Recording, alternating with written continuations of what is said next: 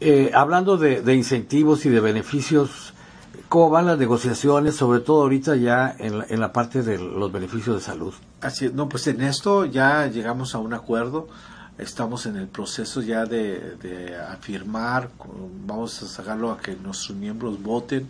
Uh, creo que hemos salido adelante, uh, hemos protegido el, lo que es el servicio médico para los, los trabajadores del distrito. Recuerda que en esos son ocho sindicatos que han trabajado juntos, incluyendo el de los maestros, para, para defender. Eh, es una de las buenas cosas que tiene eh, trabajar en el distrito de, Los Ángeles.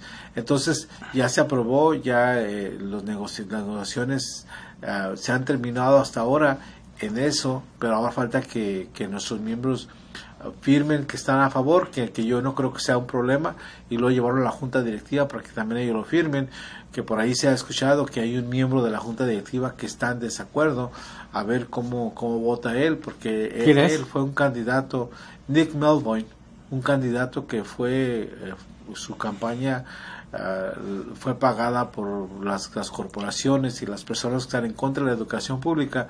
A lo mejor es la persona que va a votar en contra, pero ocupamos cuatro votos a favor para que pase esto y ya debería, debería de ser un, un, un, un trato terminado y completo, pero siempre se falta el voto. Y pero ustedes tienen seguridad que van a haber existir esos cuatro votos. Sí, sí, porque este ya ya se negoció, se aceptó, es nada más una formalidad que ellos voten, pero también puede para levantar su mano de que no está de acuerdo, puede que vote que no. Pero, ¿Qué, te, qué, ¿Qué, tipo de beneficios fueron los conquistados o se van a conquistar? Mantener lo que tenemos hasta ahora. ¿Qué es lo que, que es este, el, el, maestro tiene mm, beneficio de, de médico, incluyendo a su familia, que es algo que, que este, en otros lugares um, hay otros distritos que no los tienen. Y también hay, eh, eh, ¿cuál sería la comparación de un sindical, sindicalizado, un trabajador sindicalizado, un maestro sindicalizado, con un trabajador no sindicalizado, un maestro no sindicalizado? Pues mira, la importancia del sindicato aquí, ¿cómo se puede resaltar? Claro, mira, aquí en aquí nosotros podemos decir hemos hemos logrado este este contrato porque sabían ellos que incluso estuvimos a punto de decir vamos a salir a hacer un, a un paro o hacer una acción grande para para para seguir insistiendo. Y, y, el distrito dijo no lo vamos vamos a llegar a llegar a un arreglo qué pasa con un, como una escuela charter que, que tiene 20, 30 maestros, ellos no tienen esa, esa, esa voz que tiene, que tiene el sindicato. Entonces a ellos, uh, si es que tienen servicio médico, y a lo mejor sí tienen, pero algo muy básico, algo que nada más quizá cubre al, al trabajador, pero la familia no. Y, y sabemos todos que el servicio, el servicio médico es muy caro aquí en, este, en Estados Unidos. Y una vez que todos los miembros del sindicato lo aprueben y los demás sindicatos que tienen contrato con el distrito escolar, ¿cuándo entraría en vigor este nuevo contrato? Pues mira, hasta ahorita ya, ya se empezó este año, porque este, este año, uh, el año empezó en, a principios de este.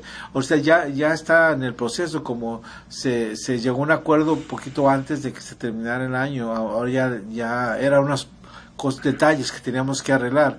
Entonces ya estamos este, en, en ese en, en, el acuerdo. Eh, te digo que lo demás es una formalidad, pero este no y no creo que nuestros miembros digan que no. Entonces por tres años estamos incluyendo 2018, 2019 y 2020. Ahora falta la, la, parte del alza salarial. ¿Cómo va? ¿Sientes la misma voluntad política de ellos para lograr un acuerdo?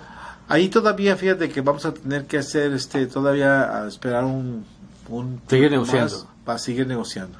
Oh, ¿Ustedes piden cuánto? Hasta ahorita estamos pidiendo 6.5% de, de aumento. Uh, ya han pasado como cuatro años que no han recibido un aumento los maestros. ¿Y ellos qué ofrecen? Hasta ahorita ellos han ofrecido nada más el 2%. Y entonces sigue negociando. ¿Para cuándo podrán tener un acuerdo con ellos? Pues mira, eh, cada, cada mes estamos teniendo dos, tres juntas. Este, probablemente en unos dos meses sabremos qué, ta, qué, qué tanto hemos avanzado por los dos lados. Oye, Juanito, ya para terminar, ¿cuál es la respuesta de los maestros cuando ustedes les hablan del caso Llanos, de mantenerse fiel y unidos al sindicato? Mira, eh, la semana pasada uh, me tocó ir a, a, mí a ir a una junta donde llamamos a los líderes de las escuelas Y, a mí me, me, sorprende que los maestros, no sé si porque son los más activos, entienden lo que es un, un, ser miembros del sindicato. Y, me da me siento como que estamos haciendo lo correcto educando a nuestros miembros y incitándolos a que sigan. Yo les comenté una historia. Mi mamá se retiró hace como 15 años siendo costurera que pertenecía a un sindicato. Lo que es triste que después de 15 años las costureras estén ganando el mismo salario que mi mamá ganaba como si el tiempo no hubiera pasado. Mi mamá estaba en sindicato, un sindicato pequeño, pero les pagaban un mejor salario y que hayan pasado 15 años y que sigan ganando lo mismo simplemente porque no tienen sindicato, es una tragedia.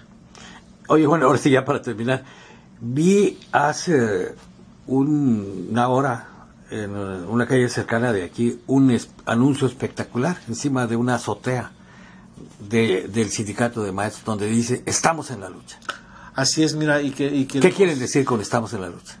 Que este, esta gran batalla este, no, no, es de un día, dos días, tenemos que seguir insistiendo y, y, lo bueno es que si han mirado en esos, en esos anuncios, hay, hay padres de familia, hay estudiantes, hay, hay educadores que estamos uniéndonos porque esto no va a cambiar eh, si no nos unimos. Entonces, si el llamado es para que ah, nos unamos todas las comunidades aquí en, en, California para, para empezar y, hacerle gran frente a los ataques que es contra nuestra comunidad.